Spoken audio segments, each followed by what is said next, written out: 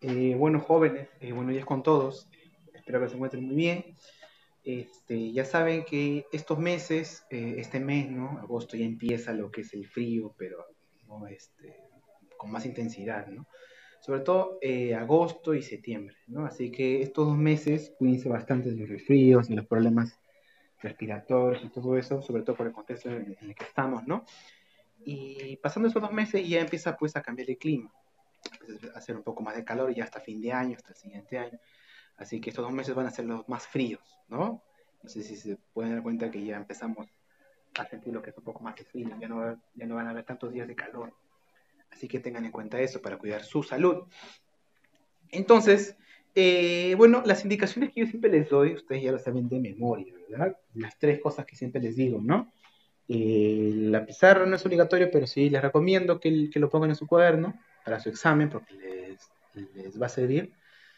Eh, tienen al final un minuto para participar, unos minutos, ¿no? Un espacio para que hagas una pregunta, lo cual yo lo considero bastante. Eh, y también, ya sabes que la asistencia en las clases de Zoom, pues eh, sí, sí, sí, es obligatorio, ¿no? Se cuenta como asistencia a la clase. Eh, ya, entonces, cualquier consulta que tú tengas sobre, sobre la plataforma o sobre alguna pregunta que, que quieres hacer, me la haces pues por interno, ¿de acuerdo? Eh, entonces, vamos a comenzar el día de hoy con una clase que es muy, muy importante para entender muchas cosas. Vamos a, vamos a tocar varios puntos y vamos a este, tratar de resumirlos en ideas sencillas que tú las puedas comprender, ¿no? De nada me sirve poner 50.000, llenar 5 pizarras con 50.000 datos si no vas a entender ninguno. Así que vamos a entender primero el proceso y luego eh, con, con el proceso entendido ya todo te va a ser más sencillo. ¿A qué me refiero? Ya, lo vamos a ver ahora. Ya. Vamos a empezar con un ejemplo, ¿de acuerdo? Siempre yo me gusta empezar con ejemplos o con En este caso, un ejemplo. Imagínate que están secuestrados. Ojalá que nunca ocurra, pero solamente imagínate. O sea, tú imaginas. Imagínate que están secuestrados y que el secuestrador te lleva a una casa de tres pisos, ¿de acuerdo? El secuestrador está en el primer piso, ¿de acuerdo? Lo voy a dibujar, ¿ya? Entonces, pues, un día tú estás caminando por la calle, ¿no? Tranquilo, con tu mochila, viene un secuestrador y te lleva a una casa de tres pisos. En el primer piso está el secuestrador, ¿no? Y tú como víctima estás en el tercer piso. Tú estás aquí y. Ahora, imagínate que, solo imagínate porque es un caso muy hipotético, ¿de acuerdo? Imagínate que justo al barrio que te ha llevado es eh, el barrio de los secuestradores, ¿no? Y las demás casas vecinas también tienen rehenes, ¿no? Algunas son de dos pisos, otras de tres pisos. Y en todas hay rehenes, ¿ya? Y la seguridad aquí no es muy buena, ¿de acuerdo?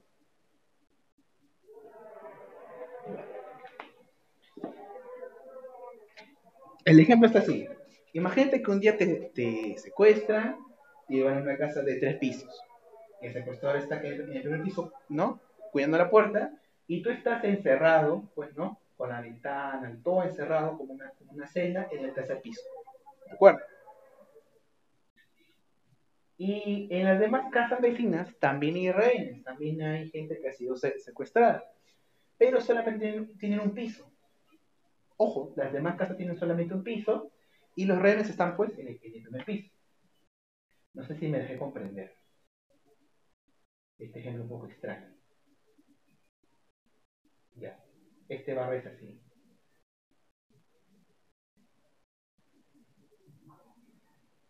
¿Ya? Tú estás en la casa de tres pisos en el último piso. Y los demás rehenes están en otras casas vecinas y cada uno está en el primer piso. Cada rehén está en el primer piso. Este secuestrador está aquí, en la casa donde tú estás. Y desde aquí ve a los demás rehenes de las casas vecinas. No sé si me hace comprender. Voy a dibujar a los rehenes para que comprendan un poco de, verde, ¿ya? Entonces, creo que bien claro para que entiendas todo. ¿Entiendes esto? Ya entendiste un montón de cosas.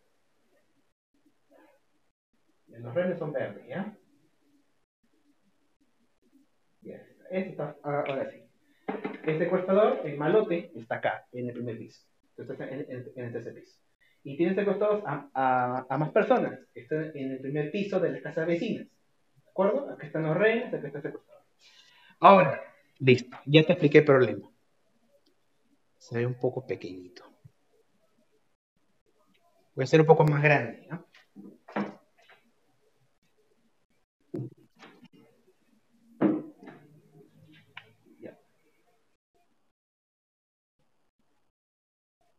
Es una casa de tres pisos. Te lleva el secuestrador a esta casa. Él vigila la puerta. Y tú estás acá, en el tercer piso, en una ventana encerrada. Ya. Y el secuestrador tiene más rehenes en casas vecinas. ¿De acuerdo? Pero estas casas vecinas solamente tienen un piso. Y acá están los rehenes, en esa casa de piso. Ya, dado este ejemplo hipotético, ¿no? Que este secuestrador y los rehenes están acá, en, tú estás en el tercer piso y los demás están en casas vecinas en el primer piso. La pregunta sería, ¿a qué rehén le es más fácil escaparse? ¿O qué rehén es más fácil, o a, a qué rehén le es más fácil liberarse? ¿Alguien que me diga? O nadie entendió nada, dígalo.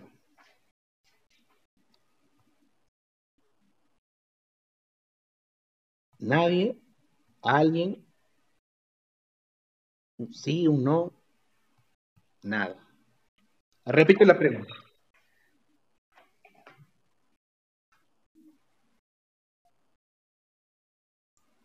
Ya, repito la pregunta entonces. Te secuestraron el secuestrador está en el primer piso. Tú estás en el tercer piso. El secuestrador tiene más rehenes, pero en casas vecinas. Y en cada casa vecina solamente tienen un piso. Y, ese, el rehén está en esa casa de un piso. Te pregunto, ¿a qué rehén le es más difícil escapar?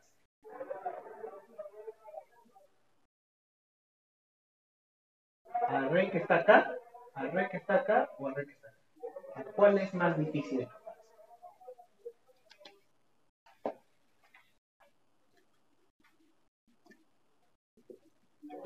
Pregunta fácil, ya, te la respondo yo entonces. Está muy fácil. Obviamente, por lógica, a Rey que le, es, que es más difícil escapar es a Rey que está acá. ¿Por qué? Porque está primero en una casa de tres pisos. ¿De acuerdo? Y el secuestrador está aquí. Lo está vigilando constantemente. Tendría que bajar un piso, dos pisos y enfrentarse al secuestrador. En cambio, ¿a qué rey le sería más fácil escaparse? A los que están acá, porque no tienen prácticamente una vigilancia constante y están en un solo piso. Ya. ¿Entendiste esta, analogía, cierto? Ya. Si entendiste esta analogía, vas a entender todo este tema y el tema anterior. Así de sencillo. ¿Por qué? Mira. Esta casa de tres pisos, ¿ya? Esta casa de tres pisos es el virreinato del Perú. Y estas casas vecinas son los demás virreinatos de la Gran Colombia y del Río de la Plata. El secuestrador que está aquí vendría a ser el virrey o el ejército realista, ¿no? Los españoles, como le llaman, ¿no? Que algunos eran, pues, peruanos, ¿no? El virrey o el ejército realista. Acá. Y eh, los indígenas, los mestizos, la gente común y corriente, como tú y como yo, estaríamos acá, el pueblo. Pero tú sabes, tú sabes muy bien de que en el virreinato del Perú la sociedad no era igualitaria, como se quiere hacer que la sociedad sea ahora, ¿no? Y que debería ser. Pero la sociedad en esa época no era igualitaria, habían castas, ¿no? Estaban los indígenas, estaban eh, el que no tenía ningún derecho eran los esclavos, ¿no? Después estaban los indígenas, los mestizos y las combinaciones. El que gobernaba era el que procedía de España. Después estaban los criollos, que eran los que los descendientes de los, españoles que nacían acá en América. Ponte que acá están los indígenas y, los mestizos, ¿ya? Gente del pueblo. En el segundo piso, en este ejemplo, estarían los criollos, que tienen un poder limitado. ¿De acuerdo?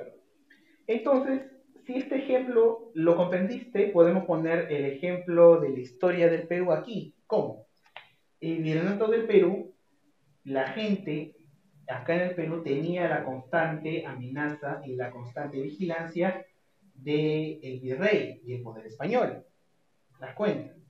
Por eso que cada vez que los indígenas, te expliqué en la clase anterior, Juan, Santos Atahualpa, Tupac Amaru, ¿de acuerdo? Hacían sus rebeliones, era más fácil para, para el virrey, ¿no? Con este sube la escalera y lo termina, y luego baja.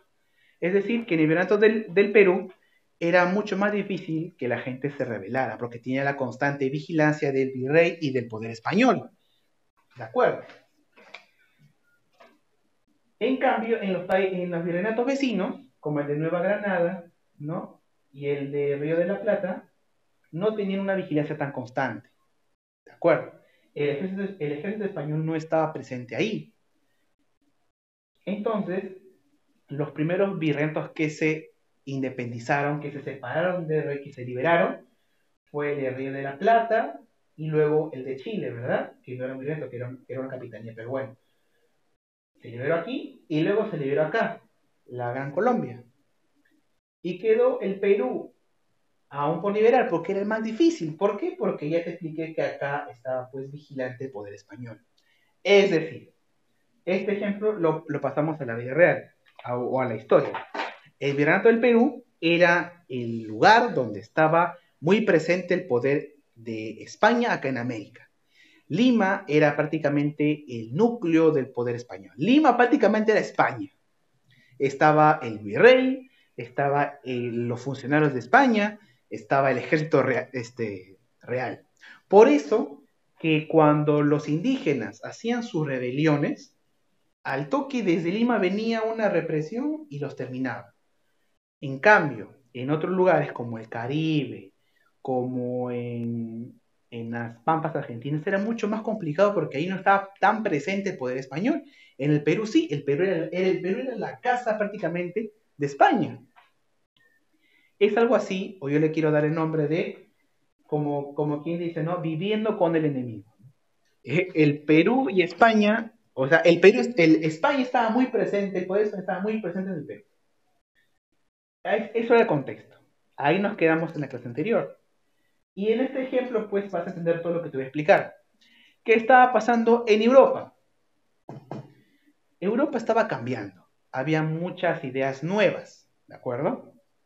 Habían ideas conocidas como la ilustración, ¿no? Esas ideas que te decían que el hombre nace libre, de que el hombre no debe este, tener esclavitud, de que la misma gente debe generar su propio gobierno. Esas ideas tan locas en esa época, tan revolucionarias, que ahora son normales, pero en esa época eran revolucionarias, eh, se pusieron de moda en, Europa, en el círculo intelectual, ¿no? Y esas ideas llevaron a que en Europa se hagan revoluciones, como la Revolución Francesa.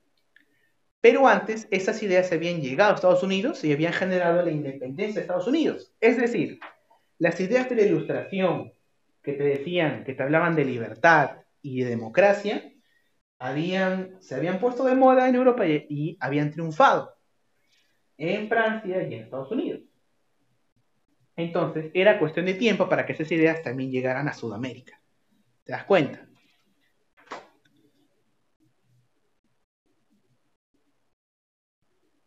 Entonces, ya entrado al siglo XIX, 1808 más o menos, Napoleón Bonaparte invade España. ¿Quién era Napoleón Bonaparte? Era un general francés eh, que luego se condecoró como emperador de Francia. Y él quería eh, invadir Portugal. porque tenía un problema con Inglaterra que no vamos a profundizar ahora? Quería invadir este, Portugal. Pero Portugal estaba en el otro lado de España. A ver, lo voy a acá. Aquí está España. Este es Portugal y aquí está Francia. Para pasar de Francia a Portugal tengo que pasar por España. ¿no? Es como que tú estás sentado acá en tu carpeta, quieres pasarle algo a tu compañero, tienes que pasar por donde está tu otro compañero del medio, ¿cierto? Entonces, Napoleón quiso invadir por, Portugal, pero no podía hacerlo por mal, por, por, mal, por mar, porque tenía muchos problemas. Así que pidió permiso al rey de España y Napoleón dijo rey de España, señor rey de España, pues, ¿nos da permiso para pasar por tu territorio y, llegar a Portugal? No, no nos vamos a quedar, ¿ah? vamos a pasarnos. El rey de España dijo, ya, tengo muchos problemas con América, ya pasa nomás, no, no problema. Napoleón con su ejército pasó y llegó a Portugal. Pero el ejército se quedó en España y el rey le dijo, ya, ya se va, no, ¿en qué momento te vas? Y Napoleón desconoció lo que había hablado con el rey de España y se quedó en España. Incluso sacó al rey de España y puso a su hermano como rey de España, conocido como eh, eh, Pepe Botella. José Bonaparte se llamaba, pero le decían Pepe Botella. Eso generó un caos en España. Y los que eran fieles al rey Fernando, que lo había sacado este, Napoleón Bonaparte, dijeron, ¿cómo es posible que nos pongan un rey francés? Encima encima es el hermano de, Napoleón. Y los, este, españoles estaban en, en, una gran crisis. El ejército español luchó contra los invasores franceses. En ese contexto, mientras tanto, en América dijeron, es nuestro momento. España está en crisis hay que aprovechar para generar un pensamiento de liberación. ¿De acuerdo? Ahí donde, donde aparecen los famosos precursores. ¿Quiénes son los, los este, precursores? Son personas eh, que generan pensamiento, que hacen una divulgación de las ideas de libertad. ¿De acuerdo? Un precursor es una persona que se adelanta a los hechos. Están en pleno virreinato pero ya te hablan de que, de que hay que formar una nación, una nación americana, que hay que separarse de España. Ellos te hablan de eso. Lo más importante es quiénes son. Eh, bueno, a los precursores los podemos dividir en dos grupos, los separatistas y los reformistas. ¿Qué es esto? Fácil.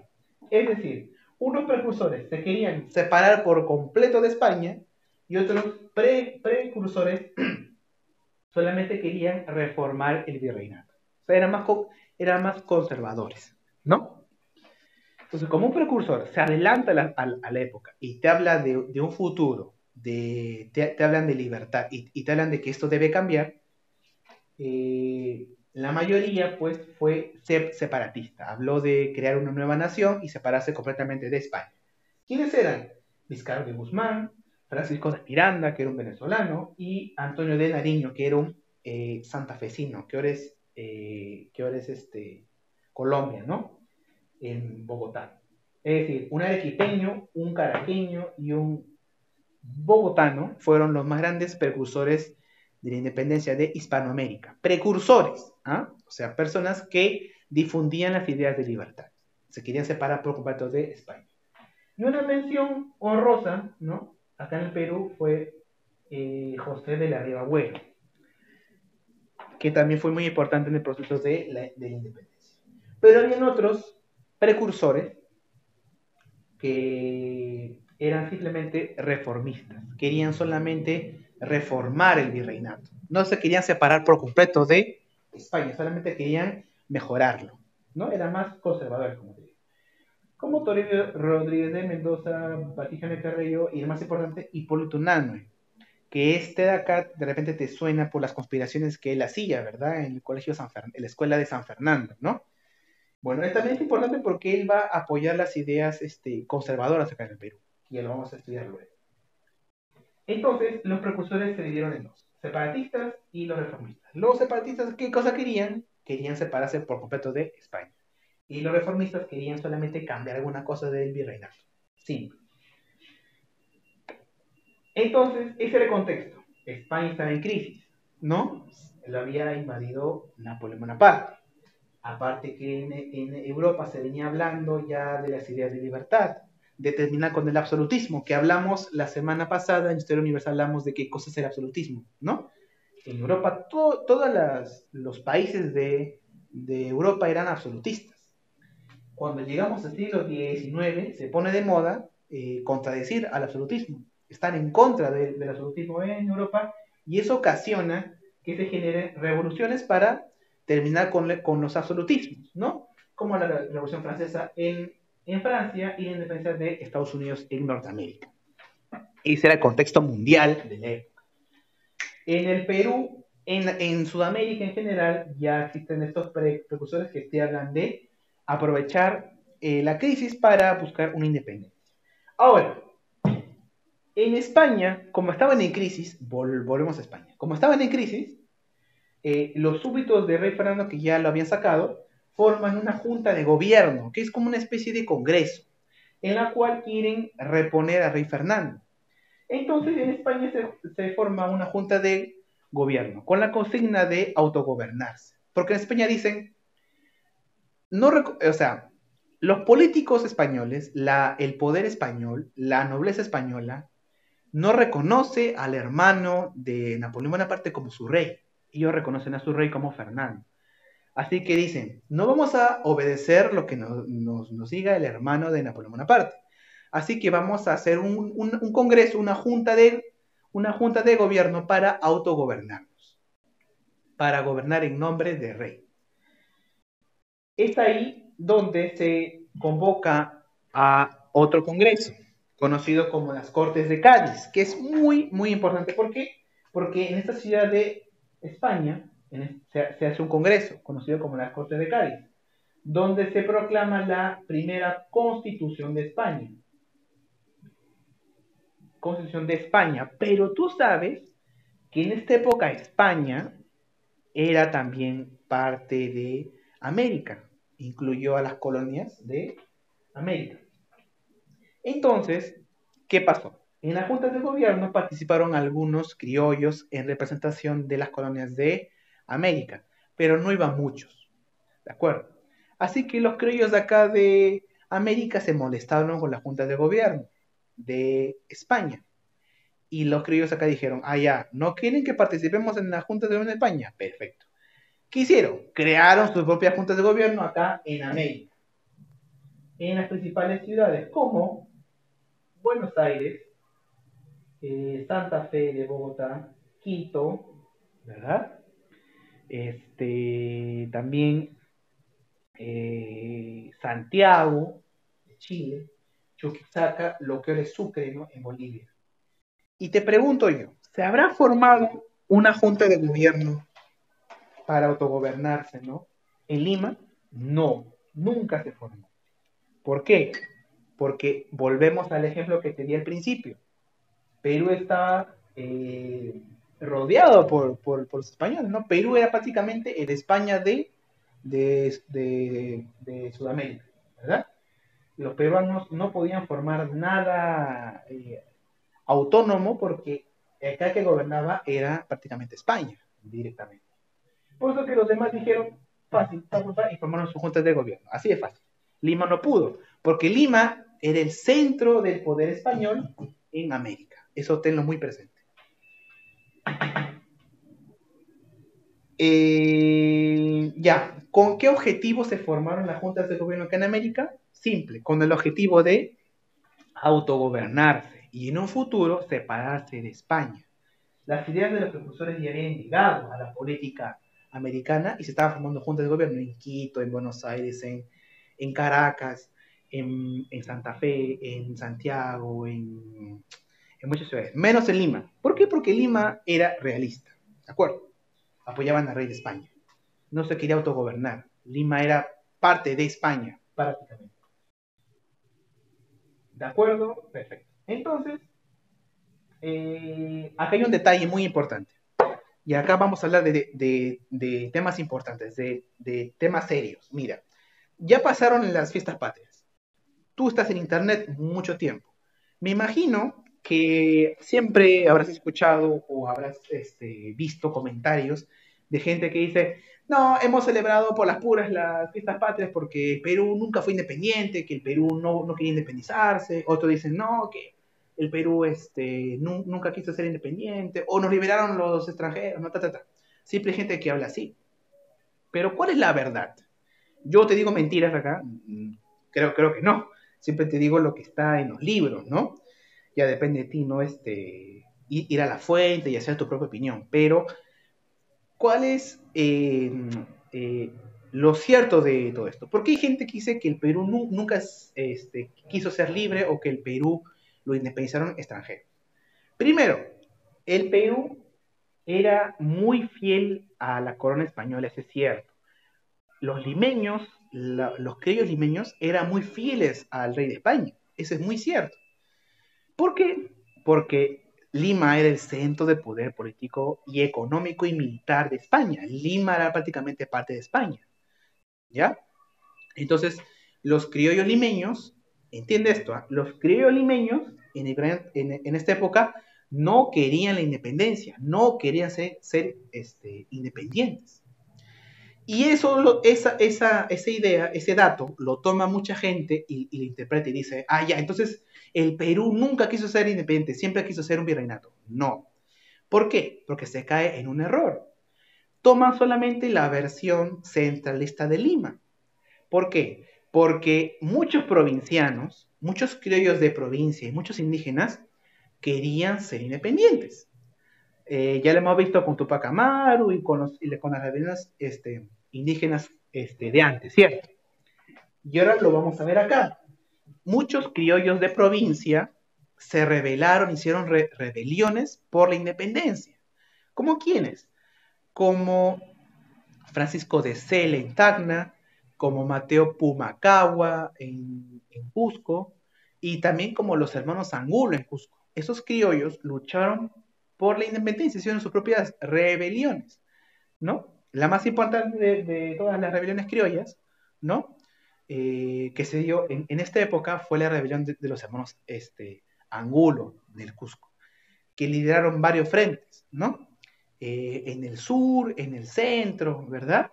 En el sur este, hicieron muchas batallas en Arequipa, ahí es donde murió el, prócer de la independencia del Perú, que es Mariano Melgar, ¿no? que este, este poeta que murió muy joven por la independencia. ¿no?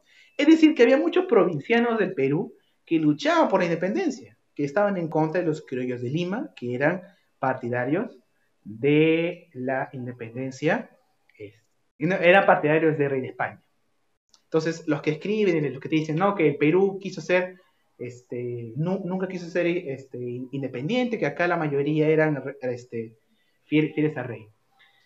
Eh, lo cierto es que los limeños, que tenían cargos importantes, no querían perder sus privilegios para nada.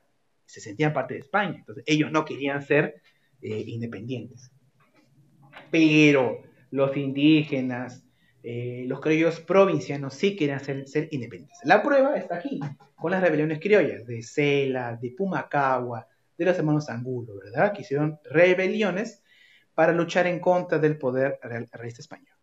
Segundo dato que te dicen algunos o que ponen algunos en, las fiestas patrias, ¿no? que yo lo he escuchado muchas veces, no, que el Perú nunca quiso ser independiente y al Perú lo independizaron los extranjeros. Todo esto ya, ya te lo expliqué en la clase anterior. No se puede entender la independencia del Perú ni de Sudamérica sin tener en cuenta los países este, extranjeros. ¿Por qué? Porque ya te puse el ejemplo de aquí. El Perú, cuando se hacía una rebelión, rápidamente se, se la aplastaba, se le terminaba. Porque acá vivíamos prácticamente rodeados de los españoles, del poder español. Por eso es que tuvieron que este, apoyarnos los países sudamericanos para liberar al pueblo que quería ser independiente, ¿no? Eso es eh, la, explicación, ¿verdad? Por eso que este, la gente que no entiende este, este concepto eh, dice eh, que Perú lo independizó un argentino, un venezolano, y que el Perú nunca quiso ser libre, que acá éramos fieles al rey. No es así. Se toma una versión de la historia, no la versión completa. Entonces tú, tú ya sabes ahora, número uno, que Lima era eh, el centro del poder español y los criollos limeños no querían ser independientes, porque eran fieles al rey. Y número dos, como las rebeliones que venían de provincia eran muy aplastadas, no se pudo hacer aquí una gran rebelión como en Venezuela en el norte y como en Argentina en el sur, porque ahí se había liberado fácilmente. ¿Por qué? Porque no había el poder extremo del virrey.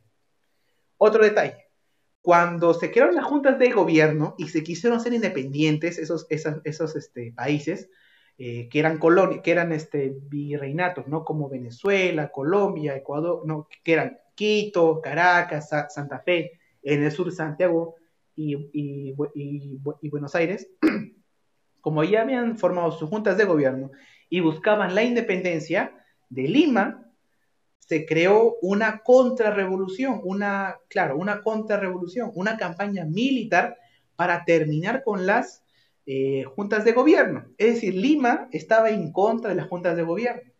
El virrey este, Abascal envió campañas militares, el, el virrey de Lima, campañas militares para terminar con las juntas de gobierno. En parte las terminó, pero esto no fue un obstáculo para que las corrientes libertadoras siguieran su proceso. Espero que se haya entendido un poco de lo, que, de, lo, de lo que he explicado, pero básicamente las ideas más importantes ya, ya te las he explicado. Que el contexto internacional favorecía a que América buscara su, su independencia. Pero el país que era más difícil, pero más complicado para liberar, ¿cuál era? El Perú. ¿Por qué? Porque el Perú era el centro del poder político de España. Era prácticamente una España chiquita. Por eso que no, no formó una junta de gobierno, por eso que fueron fieles al, al, al, virrey Abascal y al rey Fernando. Y por eso que las rebeliones que decían en el Perú, como las de Mateo Pumacagua, de los hermanos Angulo y de, y de, Francisco de Sela, rápidamente fueron eh, terminadas. Y más antes, cuando hablamos de, las rebeliones este, indígenas, también. ¿Te das cuenta? ¿Por qué? porque acá el Perú era prácticamente España, por eso era mucho más complicado la liberación. Vamos a hablar más de este tema la próxima semana. Antes, antes de que se corte la transmisión, ¿alguna pregunta?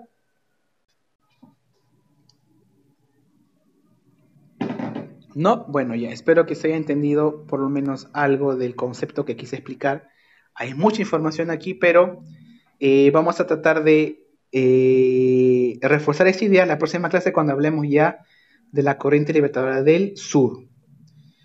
Bueno, jóvenes, la tarea, las páginas del libro eh, las voy a publicar este, en la plataforma y en el grupo de Facebook. Y a los chicos que no tienen libro ya saben que hemos creado un grupo de Messenger donde envío los trabajos. Eh, entonces ya saben, jóvenes, eh, eso fue todo por hoy. Cuídense bastante. Aquí tengo los chicos que han participado en la reunión de hoy y los felicito por su participación. Espero que participen en la próxima clase. Nos vemos el día miércoles para Historia Universal. Cuídense bastante. Hasta luego, cuídense.